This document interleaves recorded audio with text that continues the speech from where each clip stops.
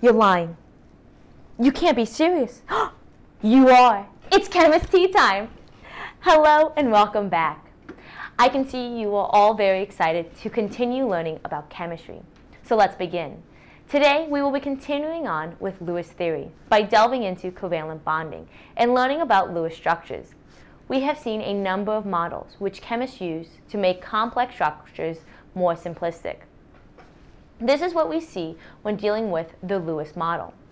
We will begin to learn how to draw Lewis structures, which are going to show the arrangement of atoms in molecules.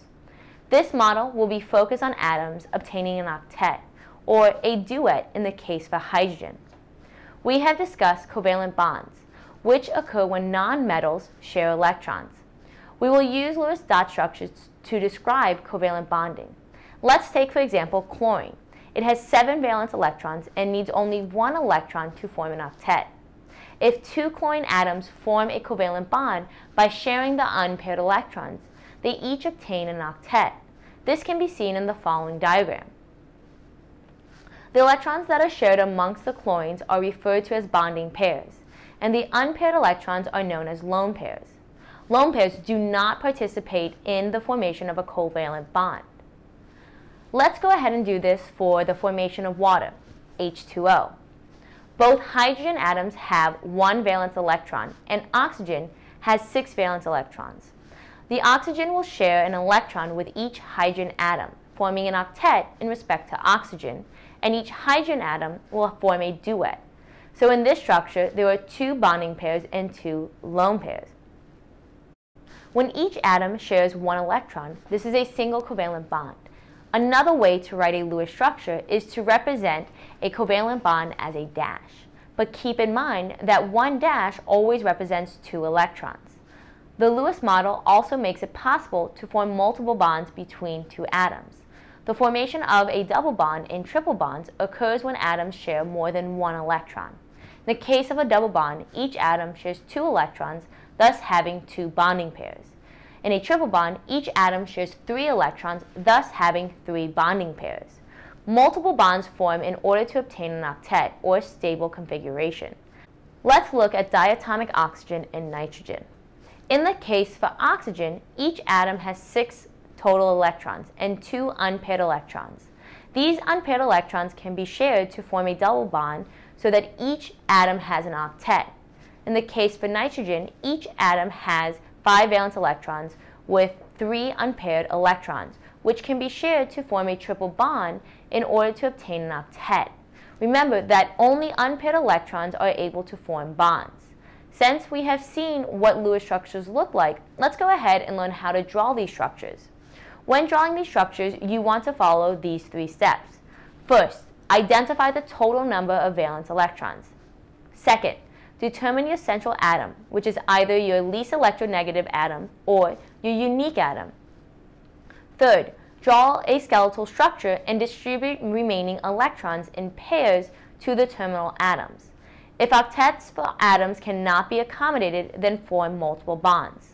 Also keep in mind that if you have hydrogen in your system, it will always be a terminal atom because it can only form duets. Let's practice these steps by drawing the Lewis structure for phosphorus trichloride, so PCl3. Step 1. Identify the total number of valence electrons. This is done by adding all of the valence electrons of each atom. Phosphorus has 5 valence electrons, and each chlorine has 7 valence electrons. Let's add these up. So 5 plus 3 times 7 equals 26. We have 26 electrons to distribute. Step 2. Identify your central atom. In this case, phosphorus will be our central atom because it is both the unique atom and it is also the least electronegative atom as well. Step 3. Draw a skeletal structure and distribute electrons. By skeletal structure, I simply mean you draw a bond to each terminal atom from the central atom which looks like the following. Once we have our skeletal structure, we can begin distributing the remaining electrons around the terminal atoms. So these are our coin atoms, and first completing their octets. Once we have completed the octets for each terminal atom, then any remaining electrons can be placed on the central atom as such. Make sure you always double check the total number of electrons and check that each atom has an octet. This is a common error students make when drawing Lewis structures. Let's do another example, such as carbon dioxide, CO2. Step 1. Identify the total number of valence electrons. Carbon has 4 valence electrons and each oxygen has 6 valence electrons. So, 4 plus 2 times 6 is equal to 16. We have 16 electrons to distribute. Step 2. Identify our central atom. In this case, carbon will be our central atom because it is both our unique atom and the least electronegative. Step 3. Draw a skeletal structure and distribute electrons. Next, let's begin distributing the electrons to form octets, first with the terminal atoms. Once we have distributed our electrons, you probably notice that carbon does not have an octet.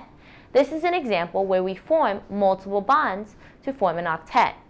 In order to do so, we use one of the lone pairs on oxygen to form a carbon-oxygen double bond. However, after forming one double bond, we still note that carbon still only has six electrons around it. So we must form another double bond to complete its octet. Our final structure looks like the following. Carbon is double bonded to both oxygen atoms. I know today's lesson covered a lot of new topics, and we also began learning how to draw Lewis structures. It is important that you watch the corresponding lecture videos to make sure you are grasping how to draw these structures. From this point forward, we will be utilizing these structures in the subsequent chapters. So it is important that you can draw these structures with ease. Thank you for watching ChemisTea Time, and next lesson, we will continue with Lewis structures. Until then, have a splendid day.